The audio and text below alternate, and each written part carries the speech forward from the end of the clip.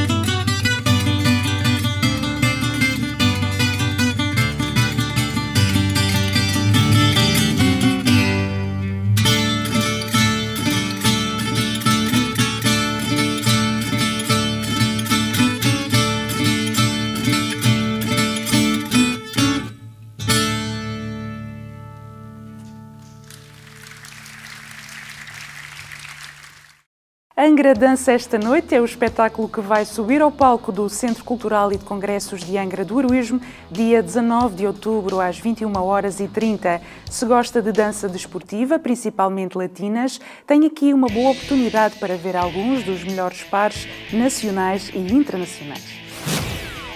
Prosseguem os serões no Teatro Angrense com música da Prata da Casa, desta feita com Entre Parentes e Amigos, um projeto que vai subir ao palco dia 24 de outubro, pelas 21 horas e 30.